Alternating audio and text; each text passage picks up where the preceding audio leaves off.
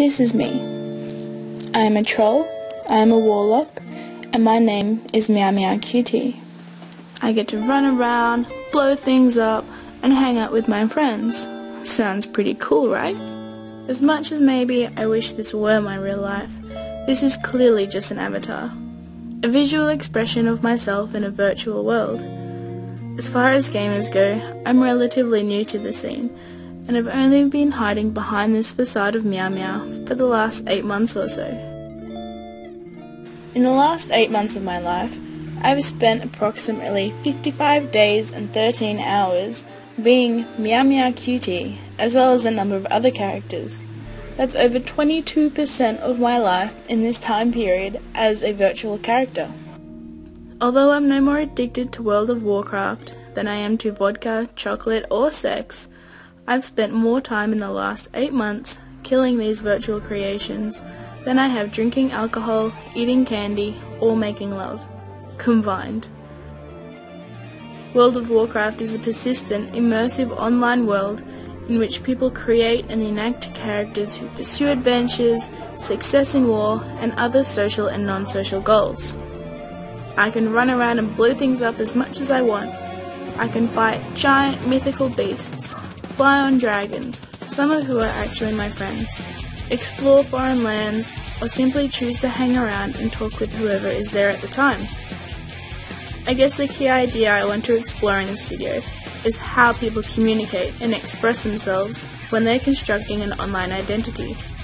I mean, something that I invest so much of my time of day into must reflect who I am as a person, doesn't it? Maybe instead, it's simply a conscious selection of the elements of me which I choose to share.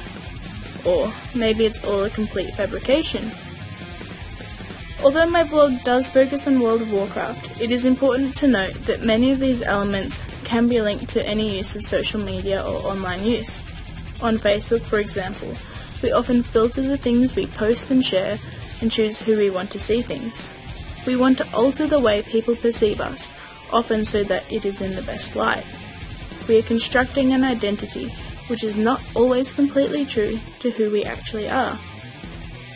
According to massive multiplayer online data, in 2012, there were an estimated 20 million users playing online role-playing games, with World of Warcraft being the most popular, having as many people play as Sweden or Bolivia has inhabitants.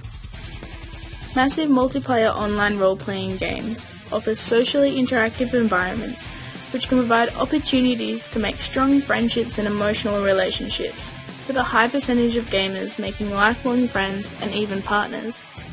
I have made friends from all over Australia and New Zealand, and including far-reaching places such as America, among others.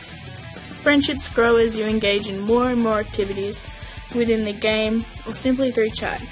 Quite often, players consider the social connections within the game to be as real, strong and supportive as any real-life friendship. And why not? These players are humans too, right? But how do you know the person you're talking to is who they say they are, simply through written word?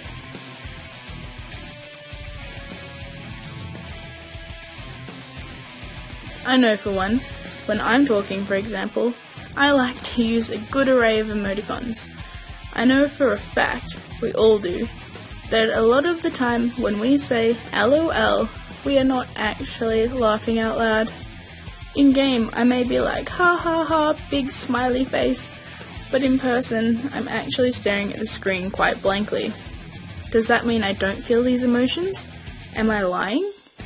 If I don't actually laugh, does that mean I didn't really think you were funny? Or am I simply filling a conversation space with a cultural norm? Looking at a player's avatar, you may assume you know who they are, World of Warcraft allows you to create an avatar from a selection of choices, whether it be male, female, orc, troll, elf, panda, tauren, undead, goblin, among others. A lot of the research I read focused solely on the appearance of a player's avatar, saying that the character they choose reflects a lot about who they are as a person. Maybe this is partly true. Guys will like to play big, muscly, macho kind of build, while stereotypically a lot of girls will choose the pretty little elf character. However, more often than not, a player's personality and their avatar are really quite random. There is a lot about a person which can't be known simply by looking at their character. I have spoken to players who are paraplegic from the nipple line down, and playing online games is one of the few things that they can manage to do. I have other friends, like my buddy Astilia here, who chooses to play a pretty little elf character. But in real life, Astilia is actually a young Asian male who simply likes to play a female tune. The thought of dressing up as the opposite sex in real life and parading around may seem quite daunting to many, but online this isn't such a rare phenomenon. So I guess this was the most frustrating part of my research because clearly the graphic surface is not the only important layer of game experience and game reality. It is not even the main layer of communication for the organised gamer community.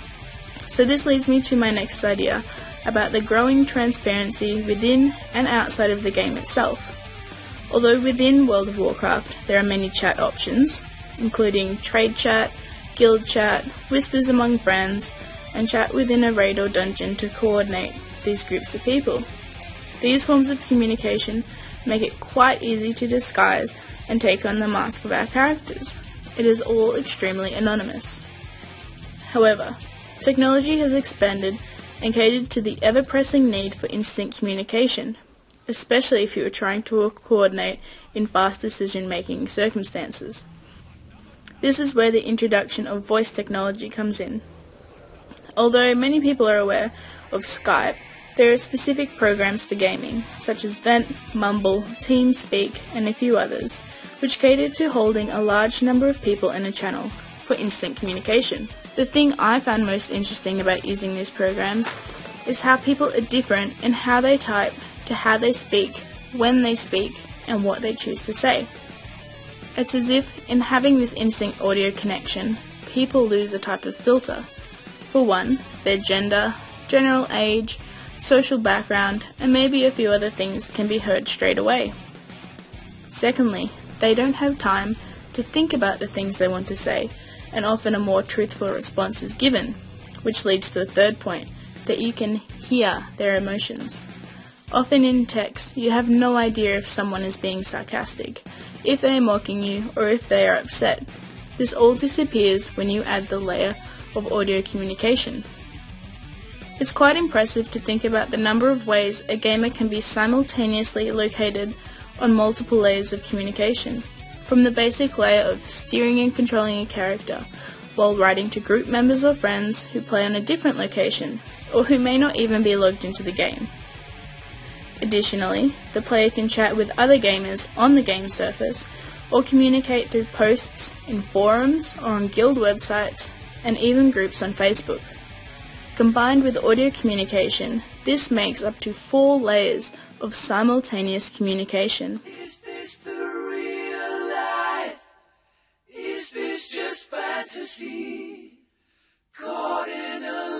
To me, adding reality in the way of adding voice chat to a virtual world takes away that which is different between virtual worlds and the real world. The gap between offline and online reality becomes narrower because the different communication modes begin to blur. As a result, perhaps players are not only constructing their identities on the other side of the looking glass, but simultaneously constructing their identity in the real world.